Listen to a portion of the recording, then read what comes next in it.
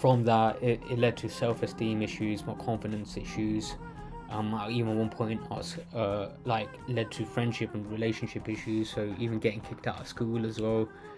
Um, ju- like friendship groups, impulsive eatings. So, so from the mo- moment we wake up in the morning until our eyes finally close at night, it's like a radio switched on in our brain. And unless I don't have any background noise going on, like that's where my brain starts talking in a million different areas and it doesn't stop.